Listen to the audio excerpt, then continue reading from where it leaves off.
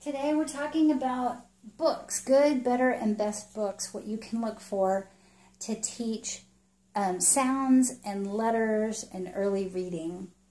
So we have other videos on, um, this first basket is on colors, on animals, um, where they live, what they touch, uh, what they feel like and sound like. Feathers, fins, and fur is a lesson that I have a video on. Um, early vocabulary books, first words, dictionaries, and how to um, decipher what's good for each age child. Um, then the next one is about teaching quantities and the number symbol for your child and the good, better, best books to look for. Shapes. This one's about seasons and early geography. So that's um, another video that I have. And we're going to be covering this one here, down here at the bottom uh, the white basket. And there's quite a few books um, because language is important. You should find as many good books as possible on the topic. This is a box of books. It's fabulous. There's one for each, um, some of them are backwards. There's one for each letter. Don't know what I'm going to pull out here, but it's C. So they're more illustrations versus uh, the actual picture, but again, at least they're real to life. So it has the uppercase and lowercase. You always teach lowercase first. So whatever books you find, they should always have only lowercase unless it's like a sentence and the first word starts with an uppercase. But if you're teaching vocabulary, an early reader is lowercase. So keep an eye for that. That the pictures look real and that it has lowercase. It can have the symbols of C, upper and lowercase, that's great. But this one is easy. It's uh, You can bring it out. There's isolation of difficulty. And there's one for every letter in the alphabet. That's fabulous. And this is by let's see what company makes this. ABC Box, but it's, I think it's a Chinese company, Allied Publishing. Oh, Discovery Toys. This is a Discovery Toys book, uh, box of books. This is fun. Um, it has real pictures for the most part. That's a stuffed octopus. They're in lowercase, which is great because they do crazy things with children's books a lot upper and lowercase symbols here. Wonderful vocabulary learning book. You could teach them queen, puppy, pitcher, pitcher, pajamas, pig. So you want to always highlight the beginning um, sound of the word. This is an interactive book, which I really love, and I have some notes in here. So um, you would slide it over and say, ah, this is the symbol for ah, ah, this is the symbol for ah. You can even have them trace it. And this is the, this is apple and this is the word for apple. Apple, apple, apple. And go over it with them. B, b, butterfly. This is a b, b for butterfly. This is how you write butterfly. B, butterfly. You want to highlight the sounds. Segregate the sounds and highlight the first one.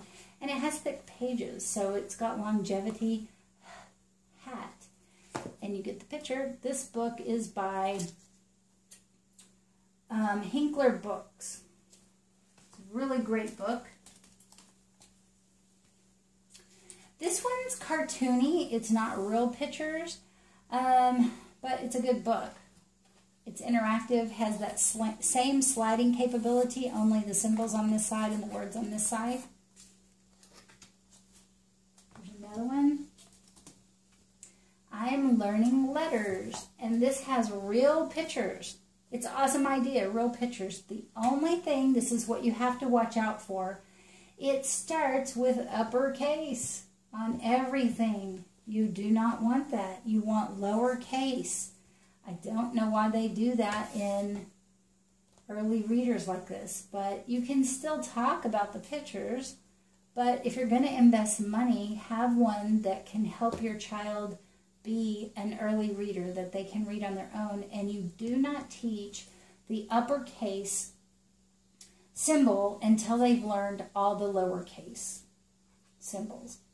So this would not be an early reader until they've done that. So this you can still buy this secondhand and tuck it away, but if you're looking for something to use right now for your child, look for lowercase. And this one, um, you're starting to read. It's got a real picture, upper and lowercase symbols. Drop your tissue in the trash. Trash. Duh. Duh. So it's a it's a good um, it isn't uh, early reader. It's got lowercase, and you can talk more about the picture with children that can't read yet. This is a fabulous interactive book. I bought it secondhand. It does not have the erasable marker. Easy to buy though. You can buy those any day at the store. And what you do is, this says 3 plus, but your two-year-old, if they're able to learn, first you teach vocabulary with objects. So, and we teach them not A to Z. Um, you can get information on my website or ask me, but we do groups of letters. So the first group is M-A-P-T. And what we do is we always teach with object baskets. And I have a video on that. So object an object basket has little objects that start with the mm, the ah, the p, and the t. And you teach them vocabulary there, and then you teach the symbol and how to write it. And so this book is great because you get that erasable marker and they can trace with their finger. Then they can trace with that erasable marker and then write it on their own. And all of these are, what do you know, in lowercase, which is perfect. Always look for lowercase. And it goes all the way to Z. So you wouldn't allow them to do everything in the book. You would teach, um, you know, say M-A-P-T, then they could do the M-A-P-T in the book, starting here, and then the next group, and then the next group. So you're teaching four letters or three letters per group. And I have a video on that, so you can watch that. But this is a fabulous book, best book ever. It's got vocabulary, real pictures, lowercase. It has interactive capability. So it can grow with your child and, and be around for a long time. It's got thick pages.